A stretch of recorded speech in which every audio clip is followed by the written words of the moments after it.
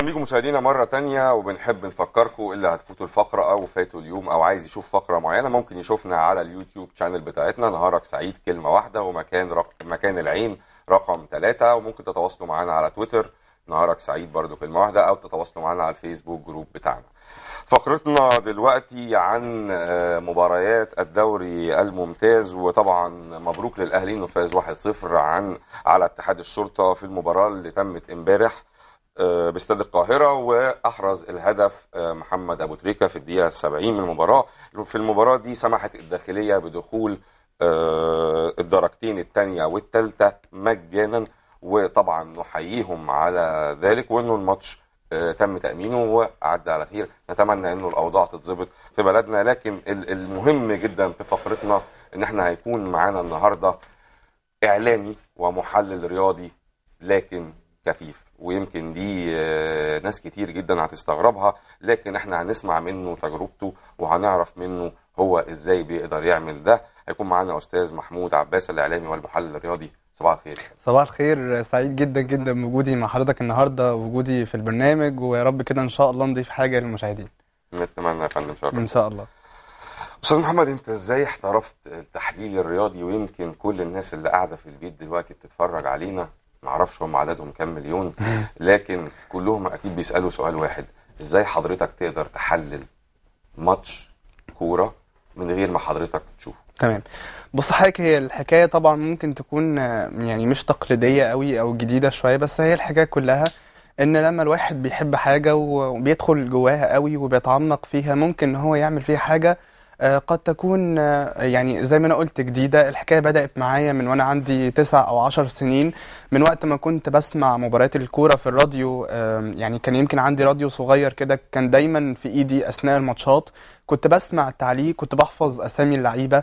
ابتديت إن أنا أخش بعد كده إن أنا أفهم بقى مراكز اللعيبة أفهم. يعني إيه حارس مرمى يعني إيه خط دفاع يعني إيه خط وسط يعني إيه اتنين مهاجمين. فابتديت أخش في الحكاية شوية. الكلام ده كان عندي حوالي 10 11 سنة.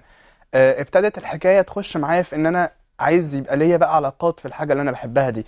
كل ده أنا لسه مش في دماغي لا إعلام ولا تحليل ولا أي حاجة. هي مجرد حاجة بحبها وهاوي يعني إن أنا أسمعها دايما إن أنا أتعرف على الناس اللي بيقدموها سواء مذيعين سواء معلقين. ابتديت إن أنا يكون ليا علاقات بناس كتير قوي من المعلقين الكبار. الحقيقة آه، كل ما كانوا بيعرفوا ظروفي كانوا بيبقوا مبسوطين جدا إن في حد يمكن وأنا مش مش يعني مش أنا لوحدي اللي اللي بحب الكورة في ظروفي لأ في ناس كتير قوي بيحبوا الكورة آه، مكفوفين وهي يمكن بالنسبة لهم حاجة كبيرة قوي يعني بتستحوذ على قدر كبير قوي من كلامهم حتى مع بعض. فالناس الحقيقة احتضنتني معلقين كبار جدا مذيعين على أعلى مستوى في مجال الإعلام بقى لي اتصالات بيهم وأنا كل ده عمري ما بلغش 13 سنة. ابتدت الحكاية إن أنا يعني ما ادخلش بقى في ان مجرد ان أنا بسمع لا ده أنا بتناقش كمان وبتناقش مع قامات كبيرة قوي فابتدوا يثقلوني الحقيقة ابتدوا يفهموني حاجات كتير قوي أنا كان صعب افهمها من غيرهم. آه، ابتدوا يخشوا معايا في فنيات ابتدوا يقولوا لي المفروض الفرقة الفلانية كانت تعمل كذا النهارده الفرقة التانية كانت تعمل كذا. ابتديت أنا كمان ادخل ادخل معاهم في مناقشة فنيات اختلف معاهم في الرأي اتفق معاهم. لغاية ما لقيت ان آه، يعني الناس يعني هم الناس دول نفسهم اللي بيقولوا لي انت ابتديت ان انت يبقى عندك وعي كبير قوي بفنيات الكورة وفنيات الملعب وفنيات المستطيل الأخضر على الرغم من إنك مش شايفه. فالخيال ال- ال- اللي وصلني عن القصة دي كلها على مدار 13 سنة إن أنا تخيلت الملعب كاملا رسمت له صورة. الصورة دي أعتقد إن هي مش مغايرة أو أو يعني لا تغير بالمرة الصورة الواقعية للملعب. ابتديت إن أنا أفهم داخليات حاجات ممكن إن هي تكون موجودة فبالتالي ما بقتش محتاج للنظر في حاجة ما بقتش محتاج إن أنا أكون شايف مباراة. مجرد ما بسمع إلى معلق اللقاء وهو بيوصف المباراة وهو بيوصف الكرة عند اللعيب الفلاني انتقلت منه راحت للعيب الفلاني أنا ببقى عارف المراكز فببقى عارف التقسيمة في الملعب ماشية إزاي. الكرة ات- اتنقلت من حالة الدفاع ابتدت إن هي تبقى موجودة في الهجوم دخلت منطقة الجزاء وما إلى ذلك فابتدت الحتة الفنية دي بالنسبة لي لا تحتاج إلى نظر وابتدى إن السمع يحل محلها بالنسبة لي. فالحكاية إن خلاص يعني وداني بقت عيني.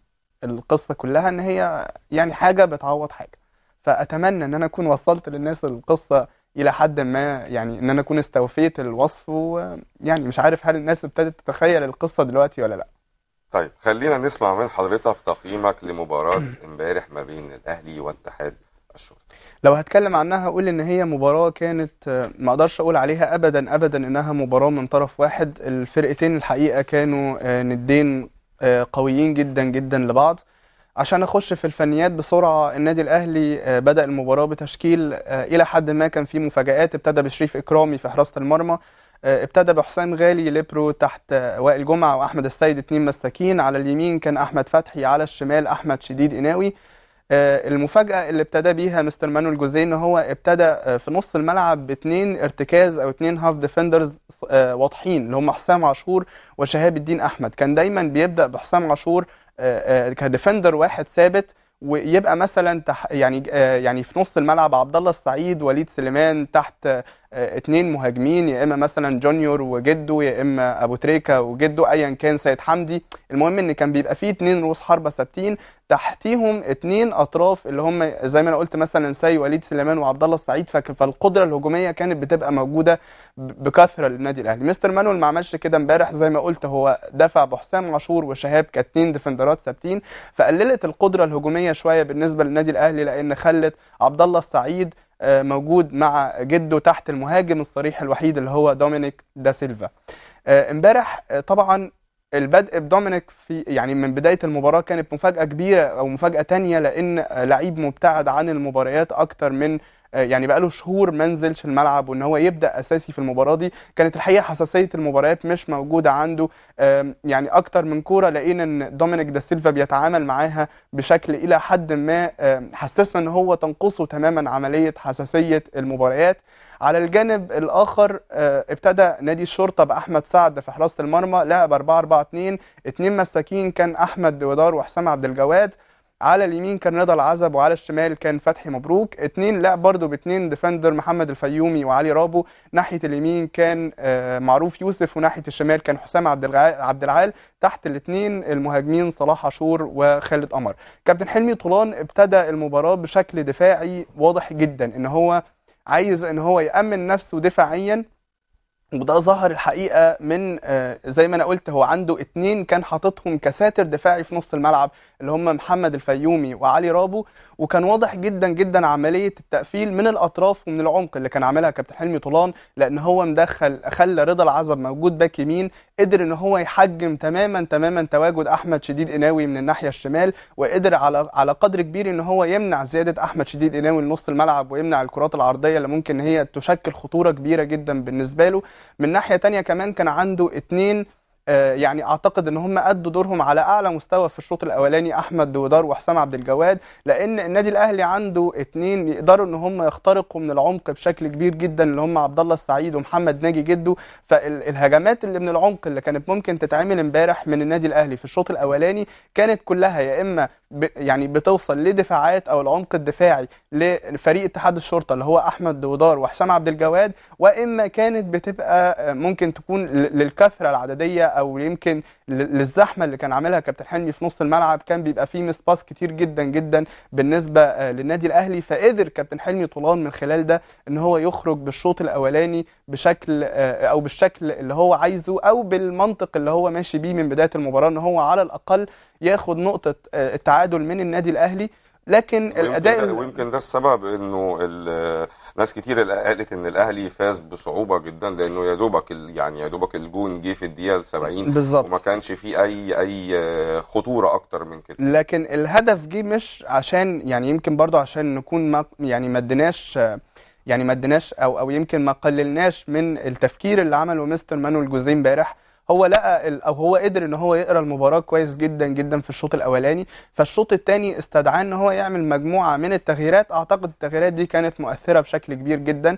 قدر إن هو ينزل سيد حمدي ويخرج شهاب الدين أحمد وده اللي إحنا اتكلمنا عنه في أول الفقرة لما قلت لحضرتك إن هو لعب باثنين half defenders ثابتين فخرج واحد فيهم اللي هو شهاب الدين أحمد ونزل مهاجم تاني صريح اللي هو سيد حمدي. عشان عبد الله السعيد قد يرجع مع حسام عاشور في بعض الأحيان يعمل الواجب الدفاعي أو يبقى defender تاني لكن هو مكانه إن هو يلعب كظهير في الجبهة اليسرى نزل كمان سيد معوض وأخرج أحمد شديد قناوي لأن لقى زي ما قلنا إن رضا العزب قادر إن هو يتعامل مع أحمد شديد قناوي بشكل كبير جدا فحب إن هو يعني يقوي الجبهة اليسرى دي شوية فنزل سيد معوض. وكان التغيير الأكثر من رائع من وجهة نظري هو التغيير اللي عمله بنزول محمد أبو تريكة وخروج دومينيك دا سيلفا. الناس كلها كانت بتتكلم امبارح عن إن فين وليد سليمان وإزاي ما يدفعش مستر مانويل جوزيه بوليد سليمان لكن يعود مانويل جوزيه مرة أخرى من يعني بعد غياب فترة طويلة جدا إلى آه، آه، يعني ابتكاراته أو الحاجات اللي الناس ممكن تكون مش مش واخدة بالها منها أو مش حساها ويصدق مانويل جوزيه في الدفع بمحمد أبو تريكة. محمد أبو تريكة الحقيقة امبارح أدى مباراة رائعة جدا جدا من زمان ما شفناش أبو تريكة بيتحرك التحركات اللي كان بيتحركها امبارح من زمان ما شفناش أبو تريكة بيقدر إن هو يكون محطة هجومية رائعة جدا لنفسه ولكل اللاعبين اللي موجودين محمد جزء كبير جزء كبير برضه يا أستاذ محمود إنه آه، أبو تريكة يعني لو لعبته دلوقتي برضو اللعيب كبر والإصابات والحاجات فلو نزلته من أول الماتش بتهلكه لكن هيبقى بتنزله طبعا. في الوقت المناسب بيحقق النتيجة المطلوبة. طب بالظبط أستاذ محمود آه، آه، عشان بس فقرتنا قبل ما تخلص عايز أسألك عن حاجات تانية كتير. اتفضل. فالماتش آه، إحنا طبعا سمعنا تعليق آه، أو سمعنا تحليل رياضي هايل من حضرتك لكن أنا عايز أعرف حضرتك بتستخدم طريقة برايل إزاي تمام. كإعلامي وبتستخدم أنا بس إزاي؟ عشان عشان كابتن حلمي ما يزعلش أنا هقول حاجة في نص دقيقة فريق. الشرطه أدى مباراة رائعة جدا جدا. يمكن الحاجة الوحيدة اللي افتقدها نادي الشرطه امبارح إن هو ما قدرش يحول الأداء بشكل عملي من حالة الدفاع لحاله الهجوم بعد ما دخل فيه الهدف إلى إن نادي الشرطه من أحسن ومن أفضل النوادي اللي بتأدي السنة دي. نتمنى له التوفيق مع كابتن حلمي طولان. إجابة على سؤال حضرتك أنا بستخدم طريقة برايل إزاي في المجال الإعلامي؟ القصة إن أنا يعني وقت ما يكون عندي استوديو تحليلي بكتب تشكيل الفرقتين زي الورقة دي كده بالظبط. الورقة دي مكتوب فيها تشكيل الفرقتين بالرسمة اللي بص م... ممكن ترفعها ناحيه ناحية صدر حضرتك شوية. بحيث إن الكاميرا تجيبها من قريب شوية عشان الناس تشوف هي بت... هي الورقة مخرمة بحيث إن هو يقدر يتلمس هو كده كده كويس؟ أنا أرفعها آه كويس؟ آه. جميل يا فندم.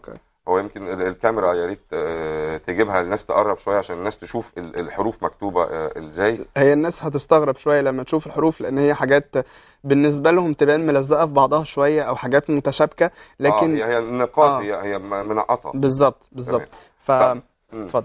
اتفضل يا فندم. ف- فبقول لحضرتك إن هو أنا بكتب تشكيل الفريقين وبيبقى قدامي بالرسمة اللي أنا متخيلها للملعب. آه إلى حد كبير فبتساعدني إن أنا رسمة الملعب قدامي وأنا بتكلم أو أنا بحلل بتبقى موجودة قدامي وبقدر إن أنا لما أتكلم عن منطقه الوسط مثلا وسط الملعب لأحد الفرقتين بتبقى موجودة منطقة الدفاع موجودة منطقة الهجوم يعني كأنها رسمة كده بسيطة لشكل المستطيل الأخضر فبالتالي بتفيدني جدا جدا وأنا بتكلم لو في حاجة سقطت من دماغي لو في حاجة ممكن تكون ذاكرتي خانتني فيها أعتقد إن دي. بتفيد طيب أستاذ محمود ختاما لكلامنا بقى بعيد عن الكورة حضرتك كان ليك رأي في الأحداث الحالية وكنت حابب تقول كلمتين. تمام. اتفضل مع حضرتك تمام. اخر من البداية أعلنها صريحة.